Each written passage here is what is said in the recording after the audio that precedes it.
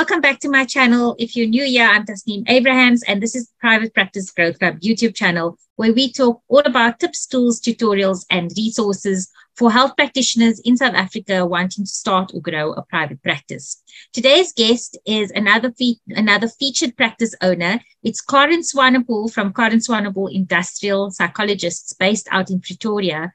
And I'm really excited to welcome her as a guest today to talk all about um, the different work that she does. And I'm sure she's going to share some valuable tips on how you can get into this industry. So, welcome, Caren, and thank you so much for joining me.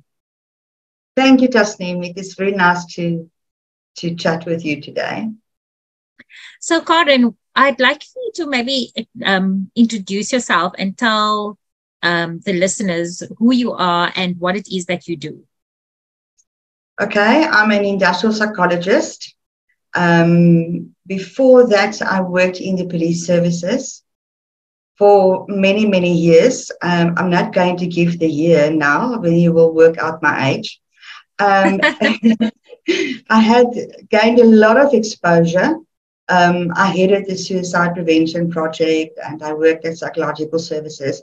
And then I've decided to venture into the, into the private sector. So I worked, um, oh, yeah, and then I got my master's while I was in the police service.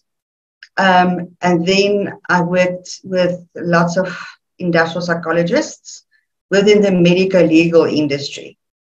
And it's an industry that I kind of realized that I've got a passion for it. It's a very complex field, and I gained a lot of experience working with experienced industrial psychologists. And there I started my journey. So the reason I invited you um, onto my show is especially because you are in the medical legal space. And um, what caught my eye was that you were offering um, workshops um, on how to, you know, how to be a, a provider in this space. Um, and the reason I reached out to you is because, you know, across other professions like occupational therapy or physiotherapy, um, they, there are opportunities to start practices in that space particularly, but it's not the same as your typical clinical practice.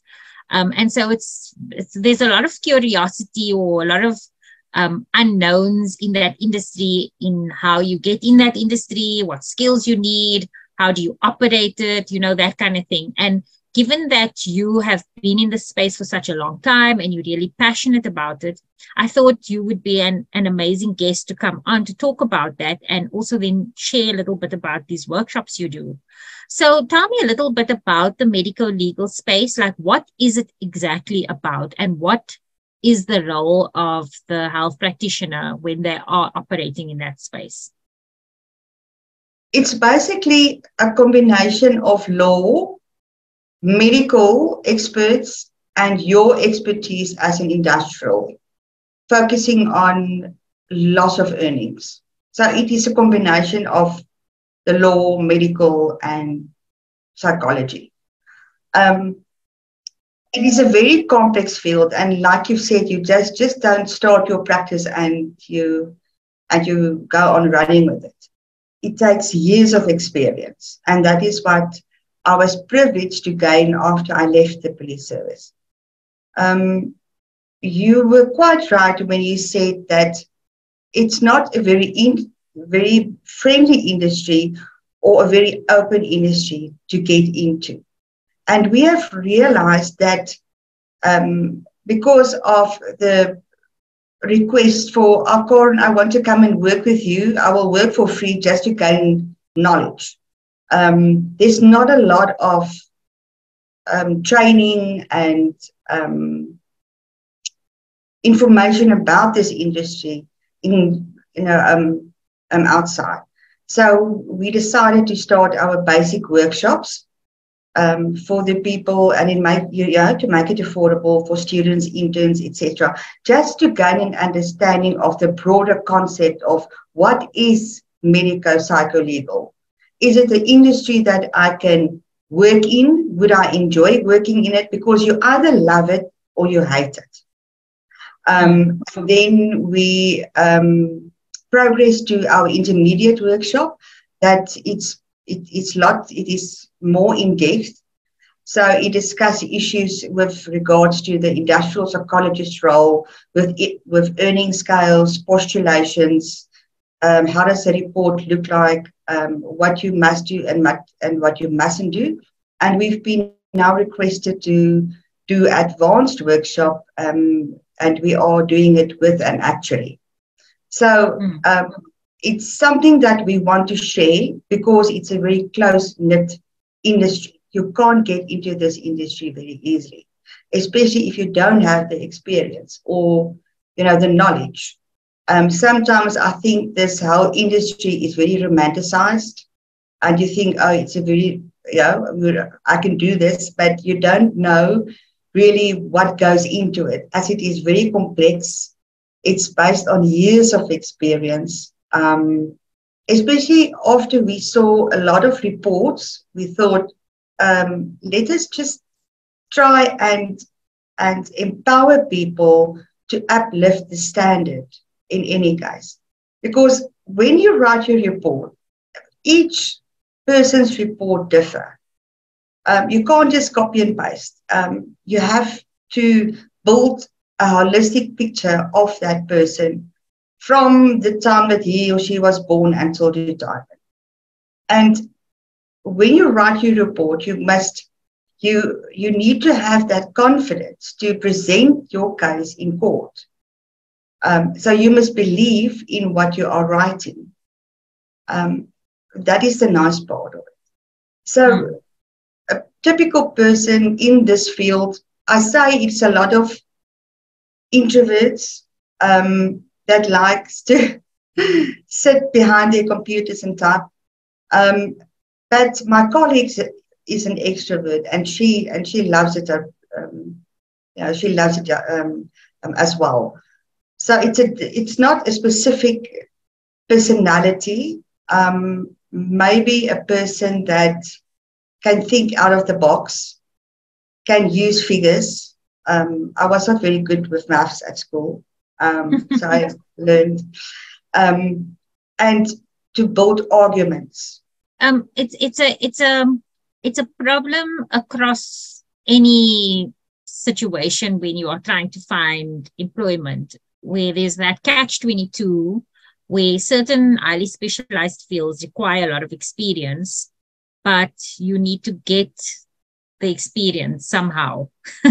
yes. So, um, you know, and we're going to get to we're going to get back to that but i want to just go back a little bit to when you first started out in this industry um, you know you mentioned at the beginning that you realized that this was the area you really liked and this was the area you wanted to be in what was it about this industry that attracted you to it, that made you like it so much and gave you this passion for it?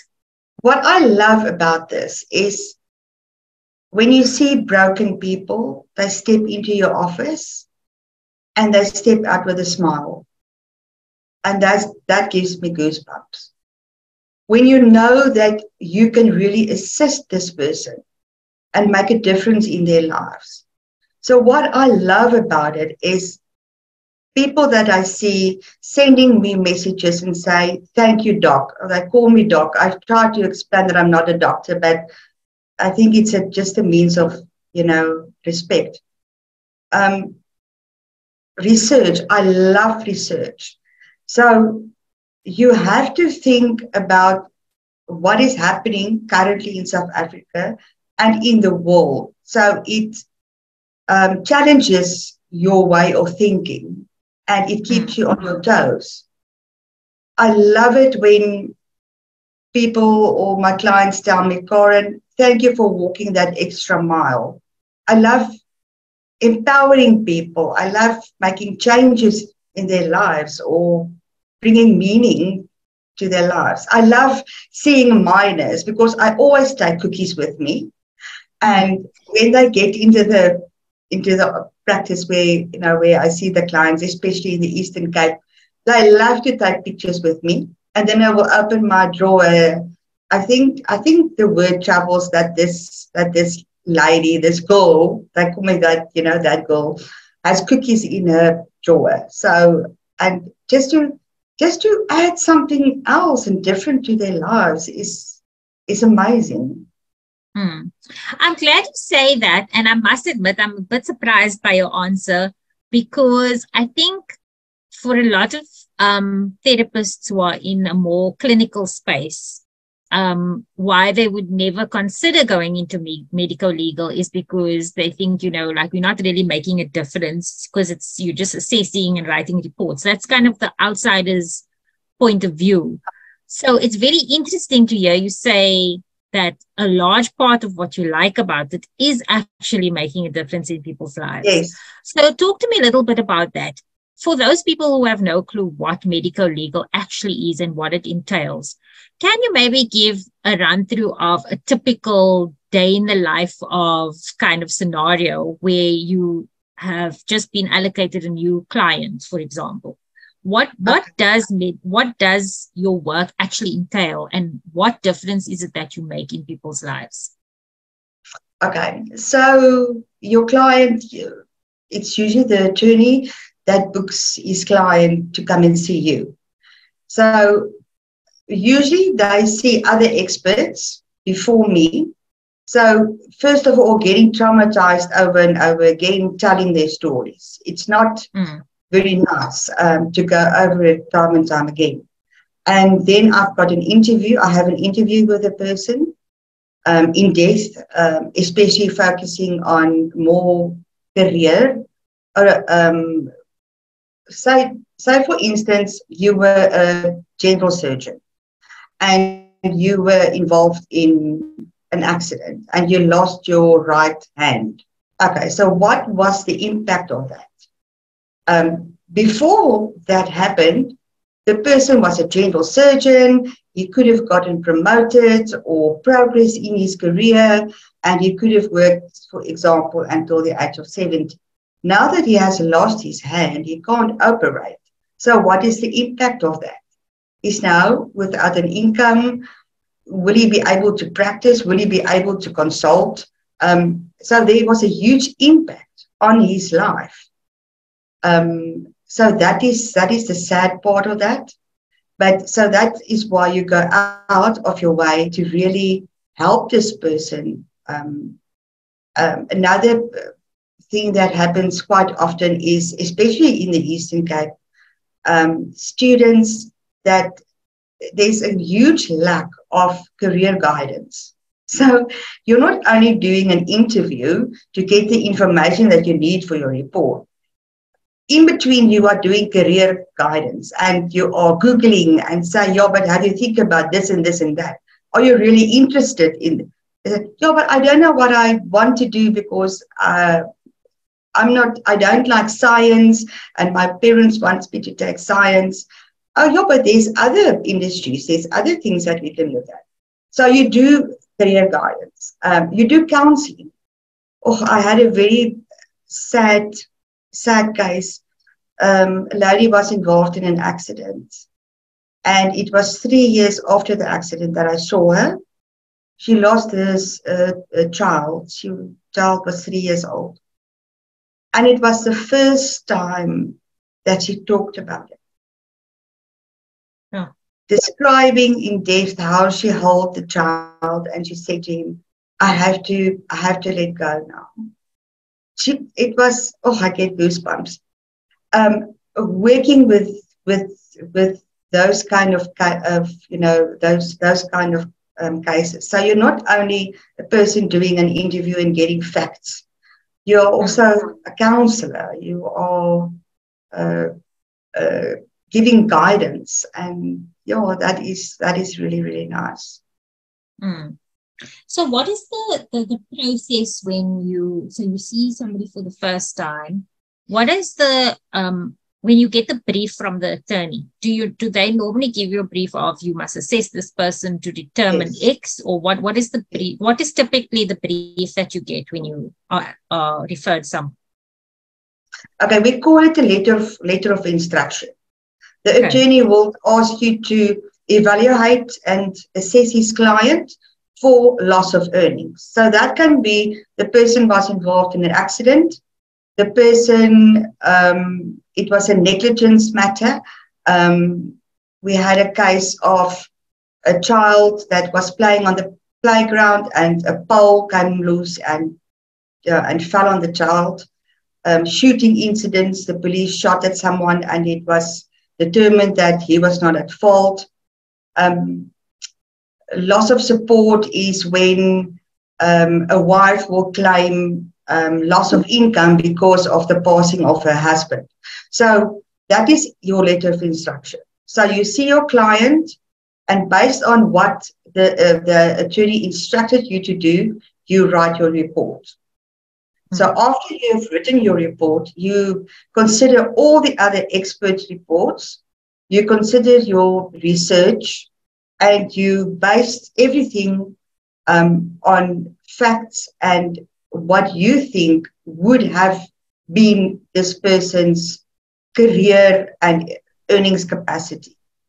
And now that the accident or the incident happened, um, what is the uh, career and earnings capacity now? How was it impacted um, upon?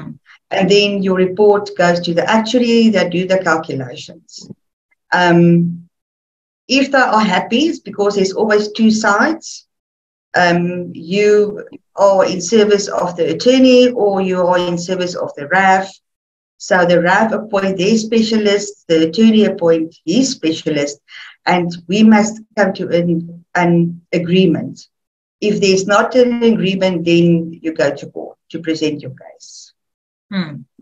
So I'm I'm I'm very keen to talk about the whole court situation because I think people are always scared of the court thing. But before we get to that, I, I I'm I'm very curious to know, um, you know, because there's this very tangible, um, you know, unlike when you have therapy, you provide therapy, you work on the client's goals, and then you maybe work towards improvement. But it's very much like um, intangible. So it's and it's guided by what the client's improvements need to be, right?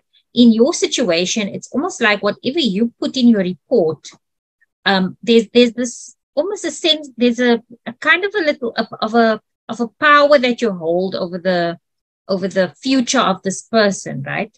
Or the outcome of their case. Tell me about the first time you had to write a report and you had to make recommendations. Like, did you have any like imposter syndrome over you know, is this the right thing I'm putting down? Um, you know, what if what I'm saying is like called into question or, um, you know, it makes, you know, it affects this person in a negative way. Did any of those things come about? Like, and how, and if so, how did you overcome it? I was very nervous. I was extremely nervous. so luckily, I was supervised. And that is okay. the most important thing of this industry you have to be supervised because mm. you're working with the legal process, you're working with, with money, and what you say go. Mm. So it's got a huge impact on that person's life. Oh, I was very stressed. I was just glad I, I had a supervisor that they could read through it and guide me. So that is mm. why I say experience is so, so important. Um, mm. Because you are working with that person's life, you're working with his or her future. Yeah, so yeah. that is your, and there's so many factors that you have to think about. The level of education, the sector in which they operate. Is it in the private sector, public sector, informal sector, the type of work that they do, their history, their age, their family background, where they live, um, their employment history. You have to call the employer and confirm is this person working there? Um, how is this person working? So it's there's a lot of figure, of factors that you have to keep in mind when you write your mm. report. So we've kind of come full circle back to that question about experience, right? So if you are interested to go into this industry, you want to go into the medical legal industry, but you have no experience in that space, what would be the best way for someone to gain experience in that space? First of all, to work under supervision of an experienced industrial psychologist. to attend as much workshops, training out there that you can attend. But the best way is to jump in the water and you swim, but luckily under the supervision of someone that will grab your hand and not and not let you drown. And and if you if you then you know find yourself in a position to gain some experience, what would be the best way to find somebody to supervise you? Are those industrial psychologists like yourselves who have more experience generally open to supervising?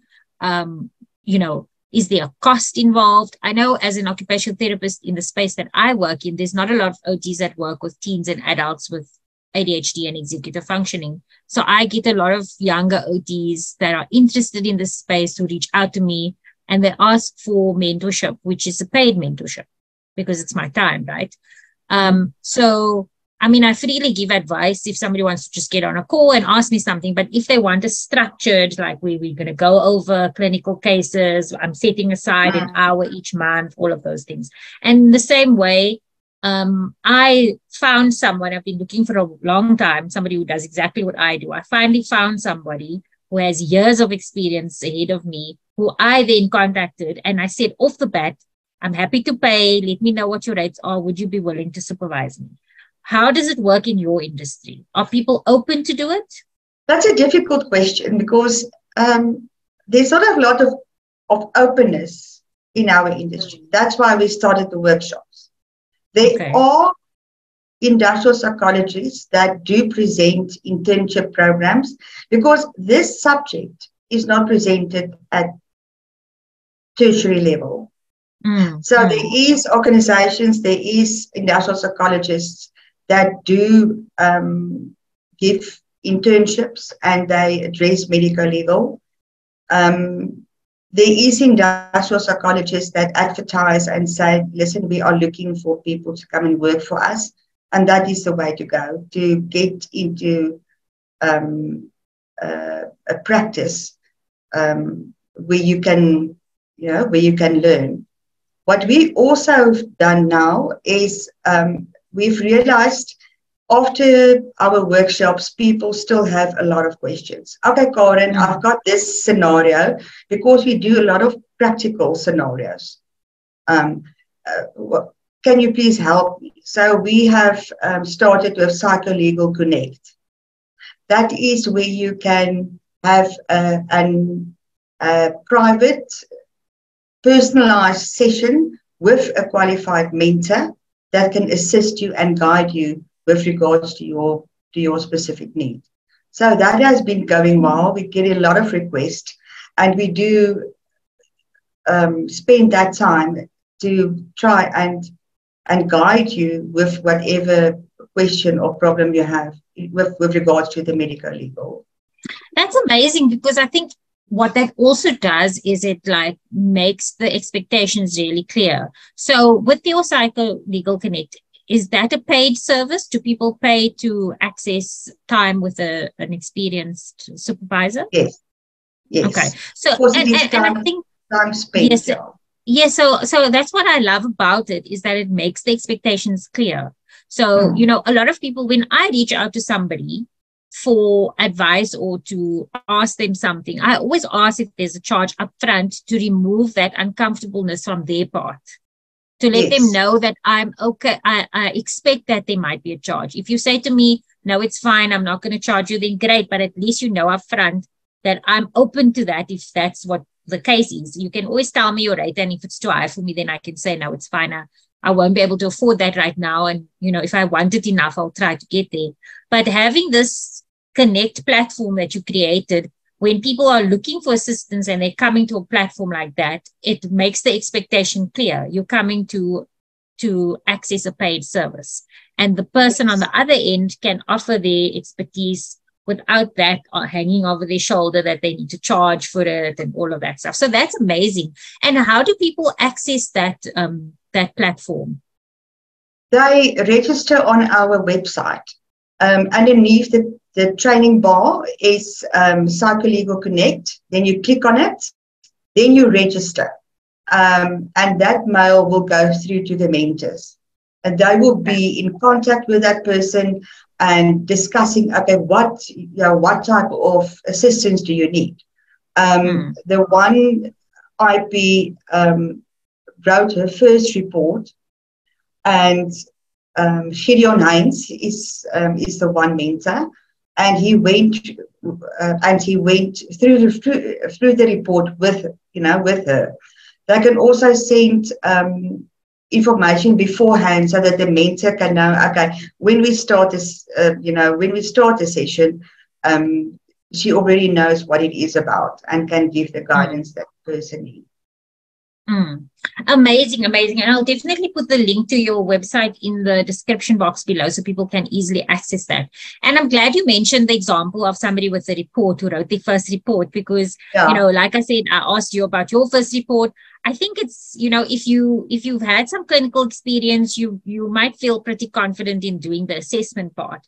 But even people in clinical settings, they are, you know, there's a lot of people who struggle with the report writing part and you get courses on report writing. But report writing for clinical is different to report writing for medical legal. Yeah. So of course, when you write your first one, it's probably you're probably very nervous and like yes. you always want to know is there like a template or an example because yeah. You, yeah. you don't know what you you kind of like shooting in the dark. So I'm glad you used that example because you know that means that there's this option for somebody to go through it with you where they can actually help you to guide you on what should be there and shouldn't be in there. I do want to know though so is this portal specifically for industrial psychologists or would other professions also be able to benefit from it? Um, other professions within the medical legal sphere will, hmm. will also benefit from it um, I get, uh, I've got a, a, very good friend who's got a, uh, who's an educational psychologist, and she asked me to read through her report to make sure that we will be able to use it. Mm. So that was a nice experience to build that relationship and say, you know what, we need more of X, I, Z. And there's something that I want to touch on though, that what you are doing in terms of offering your knowledge and creating this platform is quite unique. And I'm linking it back to what you said before, in that this industry is very closed. People are kind of a bit secretive about how things work and how to get in here. Why do you think that is? Why why do you think it's the industry so closed and it's so difficult to get to know, get your foot in the door if you, you know, if you don't by chance. Because a lot of the people I speak to who are in this industry, whether they're OTs or physios or psychologists, a lot of them, when you ask them about how they ended up, a lot of them it's by accident. Like, you know, they happened to get their first job was in that, or, you know, like somebody they knew, or, you know, it was, whereas a lot of the people that I know ask advice about getting in this industry, they are ones who are wanting to get in there. So they didn't get in there by chance. They have no experiences and they are the ones who are struggling. So it, I'm very curious to know what is it about? What is where does the secrecy come from? Why is it such a closed industry? I was thinking about that for a long time. I, I don't know. I I can't I honestly I think everyone is living in their own they are living in an, uh, their own silos, protecting mm. what they have and they don't want to share. Mm. Uh, I think there's a lot of work outside. I, I like to work together to empower people. I don't know if mm-hmm. this is just this industry um, that makes it difficult to share what you have, or you don't want to see the sun on shine on on on others' heads. I don't I don't know. But you've taken a different approach. I think like you should, also you want. It's the time that you spend mm. in training someone. Okay. If I look at my own practice, I would love to to help people and train them. But it is time. You yes. have so you this industry is it's quite challenging and also exhausting because it mm. can take it can consume your whole life. So the time your time is very, very limited. Mm. Speaking of time, how long would you say it takes you on average to write up a report? It depends on the matter, but you can do it in one day. Okay. Okay, that's not too bad. but I suppose I suppose that, experience. Yes, I was going to say that, but I suppose that comes with experience. When you do your first one, it probably takes a lot longer than that. and yes. then tell me, I'm, I I would also love to know about um, the aspect of the possibility that you sometimes have to go to court. Have you had to go to court a lot? Yes, um, I'm going to tell you two funny stories. Okay, okay. I'm going to share that publicly. Okay, my hearing has decreased over the past few years, and the one day I was in court, and um, usually you answer to the judge. Your your uh, we call it counsel. It is the advocate that presents the case in court. Okay, so you are the expert witness. So he asked the question and you answered to the judge. And so he didn't look at me and I couldn't read his lips and I couldn't hear clearly. And then I just said, Judge, please, can you just speak up? I can't, I, I can't hear you clearly. so, so that was the first embarrassing one. The second one is um, it was a court that I attended in Bhisho the advocate was so happy that I um, showed up early because they were waiting for the experts. It was a terrible road to drive from East London. And she was hugging me and said, I'm so glad you're here. I said, okay, I've just got one problem. My work, my hearing aids isn't working today. Okay. so the court started. And she addressed the judge and said, Judge, we must just um, take note that Caren Swan was hearing aid um, doesn't work today. So if we could just speak up. it was so embarrassing. so yeah, but everyone yeah. laughed at the ice yeah. and it was better in court. Now, it is yeah. a very intimidating process. Yes. And um, years back, I would rather run away than attend court. But mm. if you have confidence in what you do, it's mm. not it's it's not difficult mm. if you have passion and you believe in what you've written you believe in yourself and you believe in your report there's no mm. way stop how do you gain that confidence i mean you might believe what you've written is true but maybe you still have that imposter syndrome of like but what if i'm wrong you know or like and also i think the intimidation aspect doesn't only come into your report and the contents of it. I think it's just the environment. Like I, for example, find corporate quite corporate people intimidating. Like you know, like if I know somebody is like a director or a CEO or something, like I the concept of going to sit in a boardroom and present something is intimidating for me. So it mm. would be the same thing with the court environment. It's like you know, you get these advocates and the judges and they like, you know, and I think part of the reason is because there's that you're sitting in a court of law. How yeah. much knowledge do you or do you need to have about the law? Um, and does that play a big part in how confident you are to sit in a court of law? Okay, so your first, the first thing is the most difficult thing of writing medical legal reports is the language. It's a okay. totally different, it's a law language. You mm-hmm. have to understand that.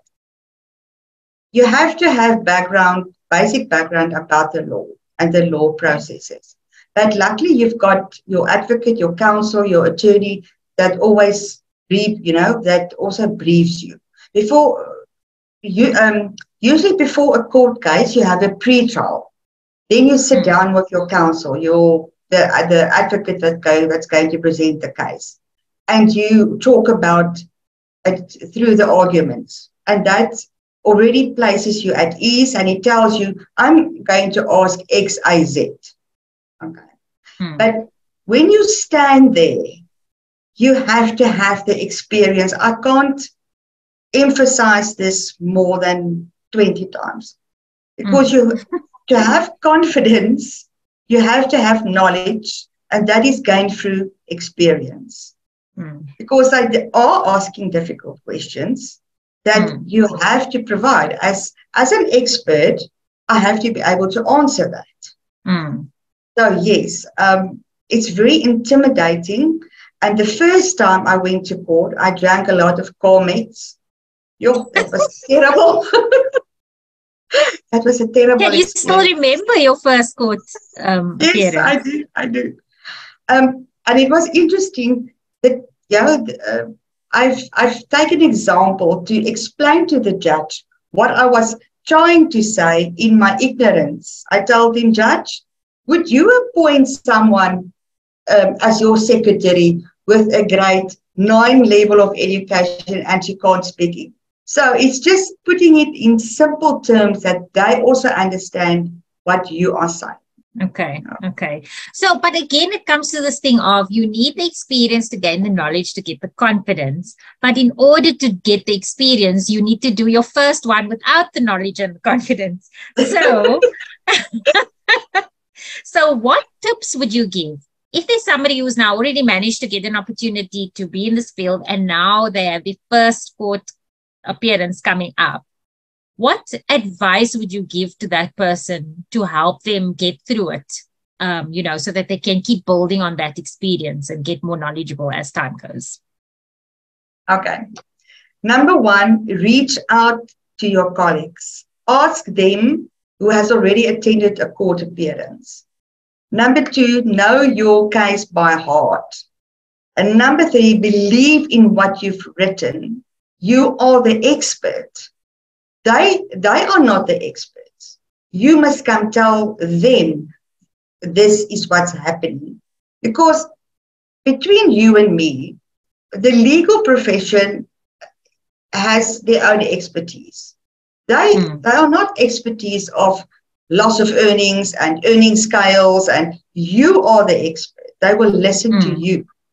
So okay. Have that confidence in yourself. But first of all, just talk to your colleagues um, and make sure that what you say makes sense.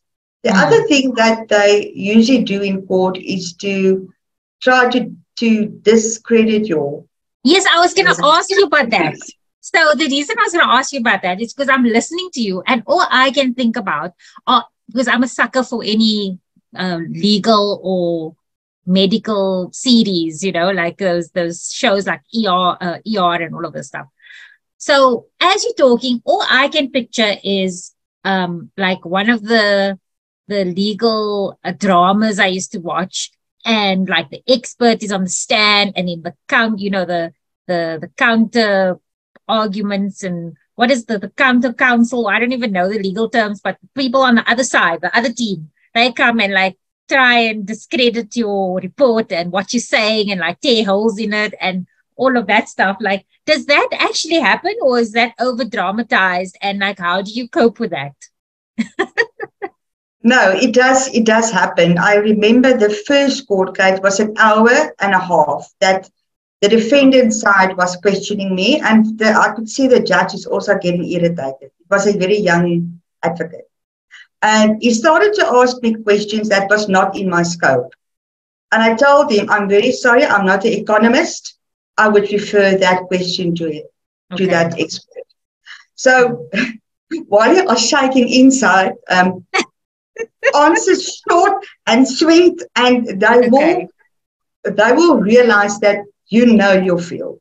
You know okay. your boundaries. You know what you can say and you cannot say. You can't, for instance, if you don't have an educational psychologist report, mm. come there and say, well, I believe that this person would have obtained a grade 12 and then a degree. It's not mm. my scope. If okay. I want to say that, then I have to substantiate based okay. on my IP experience, based on factors mm. that I have considered to, to, to, to, to make such a postulation. Mm. So you must mm. be very careful to remain in your scope. Mm. So what I'm hearing you say also when, when you go and prepare for the first time is to rather say less and always um, yes. rather say you don't know if you don't know than try to be clever and come up with an answer. So only speak to what information you know for certain you've reported on in your report um, and not make assumptions or, you know, postulations about things that you don't know and is not within your scope. And the less you give them that is unclear, the, the yes. less they can actually, you know, like yes. try and discredit your findings.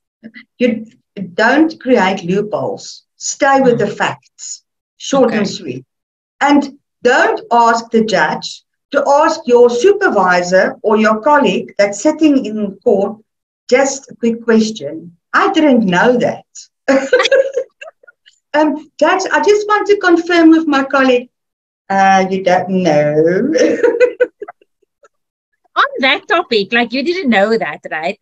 Before you go for the first time, does the advocate and the team you're working with, do they normally like help to help you to like know the rules? Like I've never been in court so I have no clue what the rules are. And obviously, we think we know from American TV, but the way their court works is different to our court. Like, does somebody yeah. like take you through like the the, the more like logistical stuff like this is what happens when you, this is when you stand this is how you address the judge this is what you call the like like the terminology this is what you're allowed to do and not allowed to do that kind of thing At first, my you know my first shocking experience, the traumatizing one, I didn't know anything.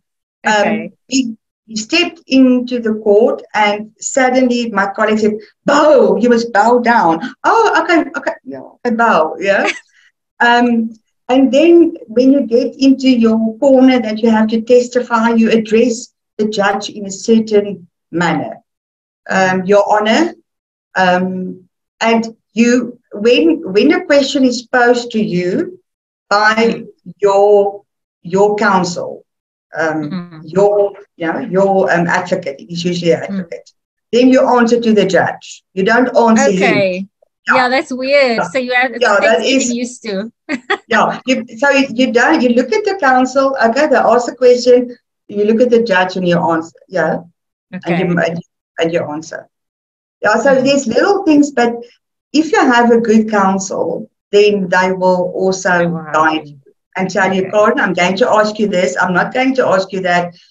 Be short and sweet, address like this. And oh, yeah. Are these um, like hearings closed? Um, is it possible for somebody to attend one, like obviously with the permission of say, say, say, say I'm now in interested in doing this and I've started in this industry, but I'd like to see what it's like to be in court. And um, I say to you, okay, Caren, like the next time you have to appear in court, can I come as like your yes. underling?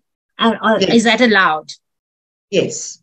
Okay. Because you, so I mean that um, would, that might be a the... nice thing for people to do, and also just you can see for yourself then before you get too deep into this industry because maybe when it gets to things like that, you hate it so much that you actually then make a mistake going into this industry. So maybe that's a good idea for people who are, you know, interested to go and experience and see is this something that you you you would be comfortable doing oh, and learning yes, about and getting confident in. Definitely, definitely. I would also okay. suggest something like that. Yes, because it yeah. is it is an experience. Yeah but I, on the other hand, I must also brag about something. Mm. Okay. Um, when you we don't go to court a lot because your reports are good. Okay. So that determines how many times you have to stand in a court of law. Mm, okay, good point. Yeah. So listen, Caren, aside from Psycholegal Connect, I want to really talk about these workshops because that's really what um, you know, put you on my radar is that I saw these workshops and I thought this is great. Like this is really needed. Tell me a little bit about those workshops. Like what types of workshops are they? What does it entail? Who would benefit from it? And when do you host them? Okay. Um, when you go onto the website, um, the dates are there and you can register. So the first one we did is um, is the basic workshop. It's a three-hour virtual workshop that addresses the what, why, how of the medical legal industry. That is open for specialists that wants to pursue such a um, career, students, in, interns, Because after that workshop, you will know, okay, this is for me or this is not for me. You will mm. get to hear the lingo. Um, what is this medical legal industry all about? Who is the role players and what is everyone's role?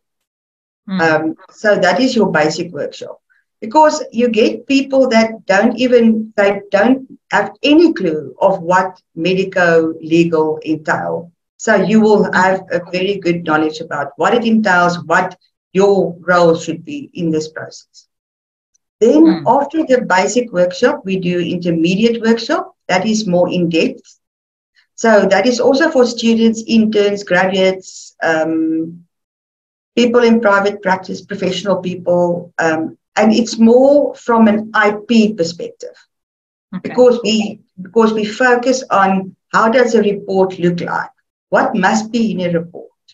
Um, we we address different scenarios.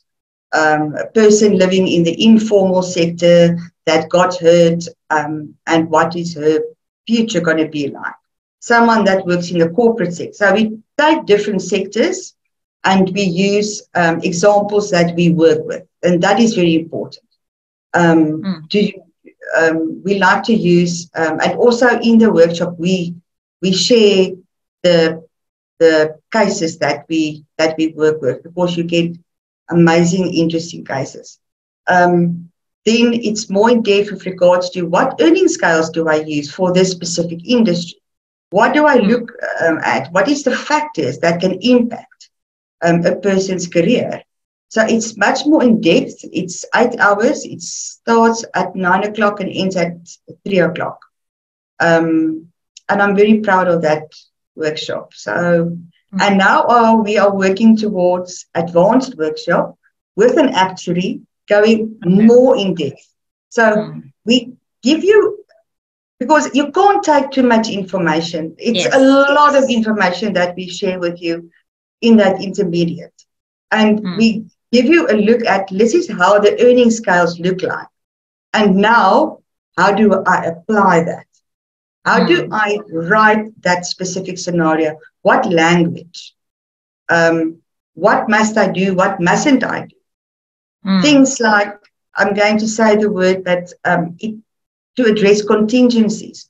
It's a huge topic within the IP world that it's very complex and no one really um, understands it at first. So that's why we we incorporated um, a very nice actuary that's also mm. going to present some of the some of the topics.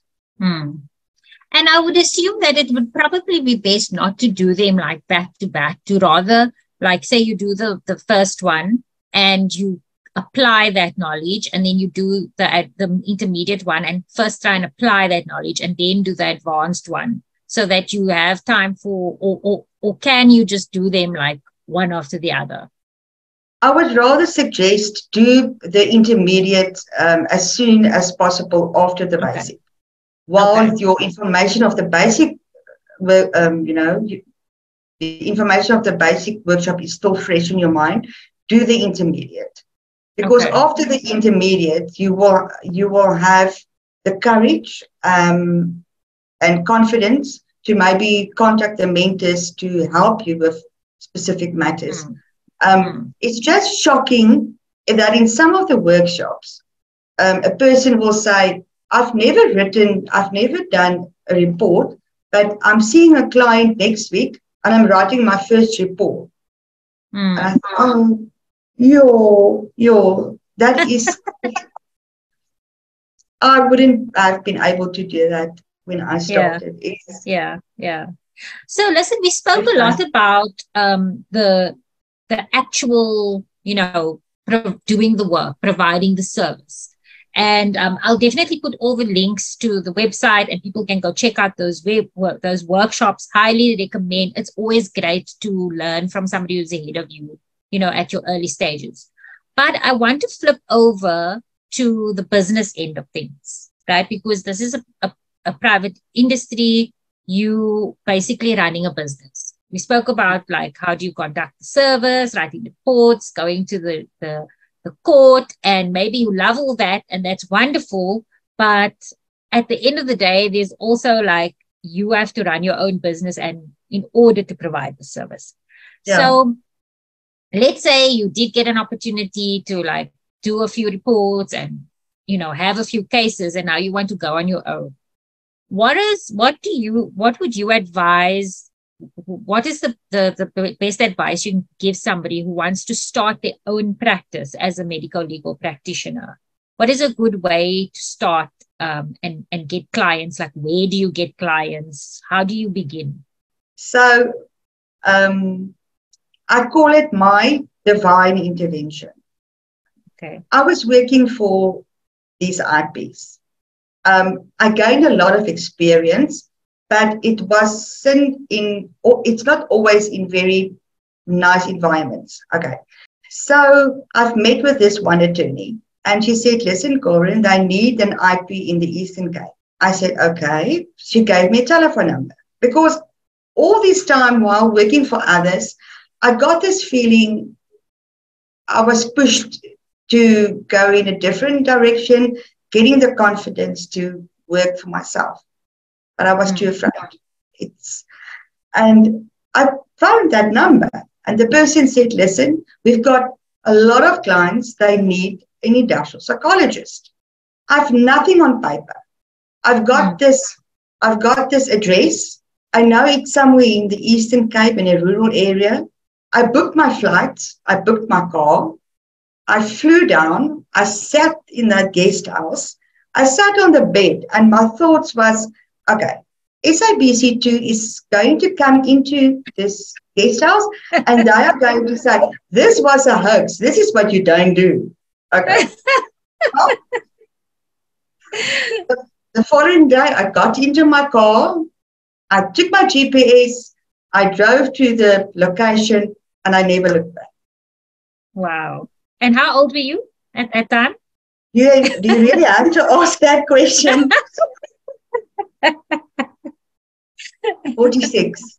Wow. Okay. So I was I'm thinking you were going to say, you know, I thought you were going to say like you were in your 20s when you can be reckless and co- throw caution to the wind.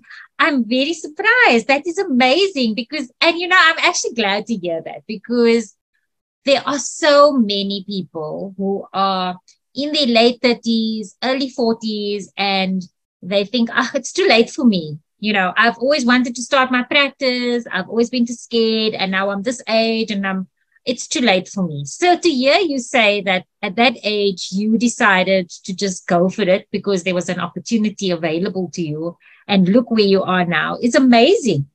It's, it is, uh, it's such a blessing that mm. my, that my message is get out of your skin Mm. Get mm. up. Don't sit and wait for work to come to you because it is not going to.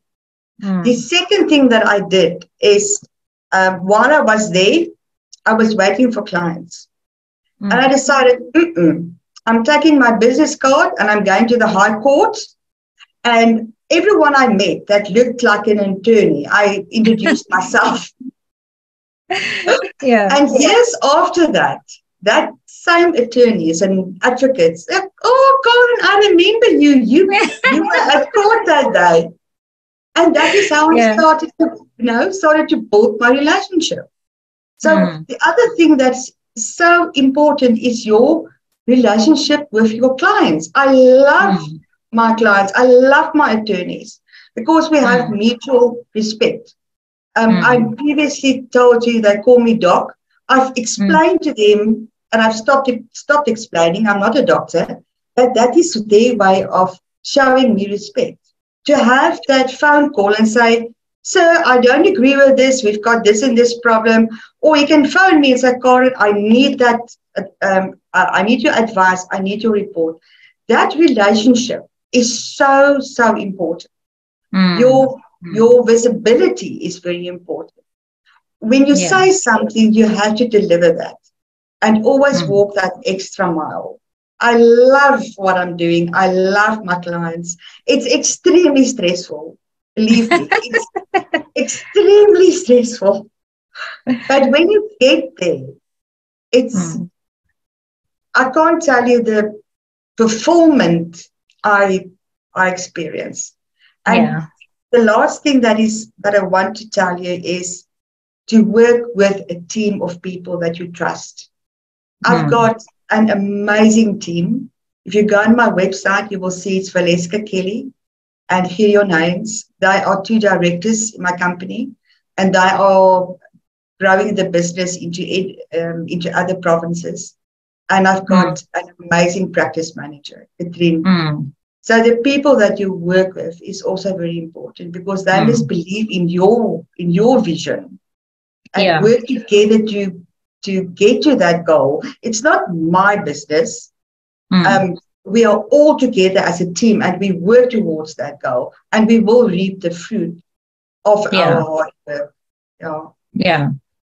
So um, the other thing I wanted to ask is when you start out, uh, you know, and you have to now obviously charge your client, charge the clients, right? What was that like when you had to, you know, the first time you had to say your rates? Like, do they generally ask you what your rates are, or um, is how do, how does that work, and how do you decide what you're supposed to charge for this if you've never charged yourself? You maybe always work for somebody and just get paid whatever what, what advice would you give to people when it comes to setting rates and understanding the, the worth of the of the service they provide You know what? It it differs from province to province.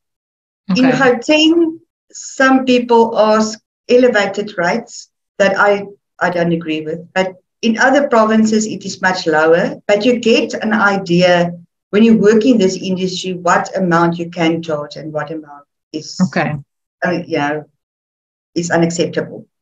Then, Mm.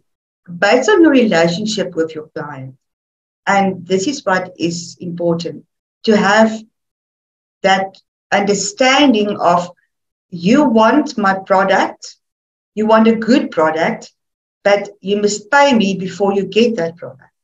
Mm, And mm. I think that made a huge difference versus giving the product and waiting for payment.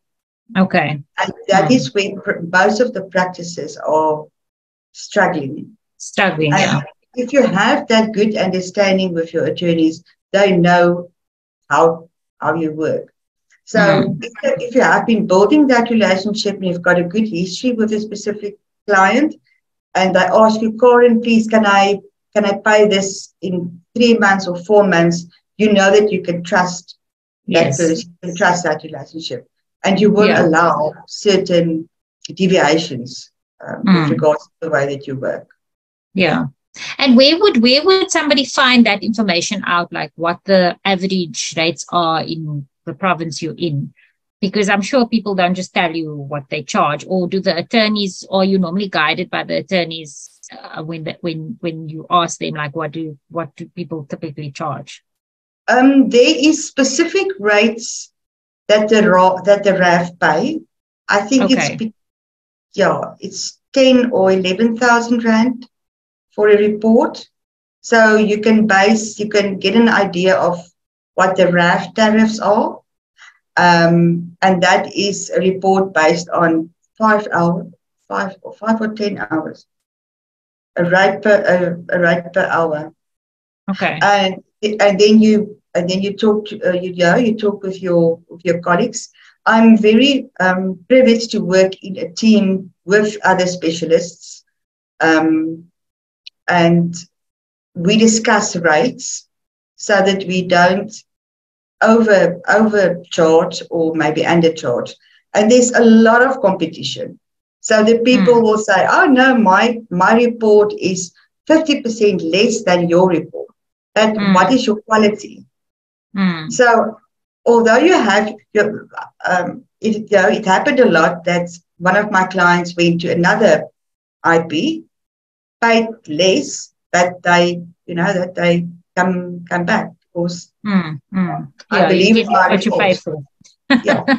yeah. No thank you so much for that. I think that is some that covers some of the main things that people really you know struggle with. And i think to summarize some of the key points that i heard you say in terms of building your business side of things is one is that you well firstly as a basis you do have to have confidence in the actual providing of the service but then one when it comes to building the service it's knowing who your clients are right so your clients are actually the attorneys or the people who are coming to you for to provide the service for the end client. The end client isn't actually your client. Um, so that you know who to approach. It's getting out of your comfort zone, looking for opportunities, and also building relationships. Um, it's knowing what your time is worth and actually providing yeah. a good product. And then I think uh, I think it's it's it's great that you mentioned about you building your team because obviously in the beginning it's just going to be you, but a lot of people are really um, um, hesitant to scale and outsource things because they want mm. to like only I can do it, you know. Yeah. And what I'm hearing you say is that a huge component of your growth and longevity in this industry is that at a certain point you had to let go of certain functions, which is not your area of expertise. Like you shouldn't be doing practice manager stuff. Yeah. Because it's taking away time from providing the good quality product where your expertise actually is, you know. Yes. So if you've got somebody else that's growing the business and somebody else that's doing the administrative stuff, you can actually focus on providing the thing that you know providing the service to the best of your ability. And i think yes. that's so important no matter what type of practice that you are actually running. Oh, so yes, thank you so much for that. you're welcome. Thank you so much. I really enjoyed your uh, chatting to you and hearing all your funny stories.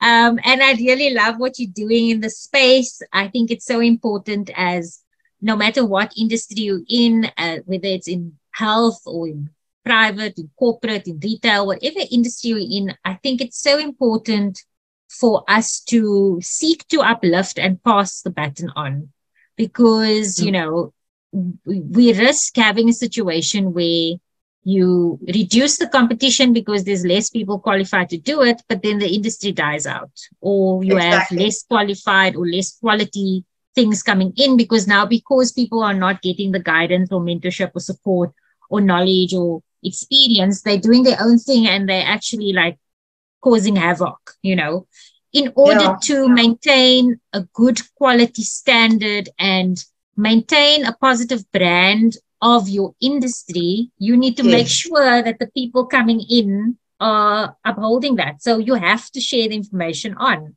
You actually exactly. do yourself a disservice, exactly. you know, by yes. trying to keep it for yourself and then, you know, other people give your industry a bad name and then it reflects poorly on you. So yes. I really admire what you are doing and and just thinking of being being you know operating a little bit outside of the box. Thank you. Thank and you. Really, I think your your passion for this industry really reflects in that work that you do. So thank you so much for sharing. Oh, thank you, Tasneem, and thank you for having me.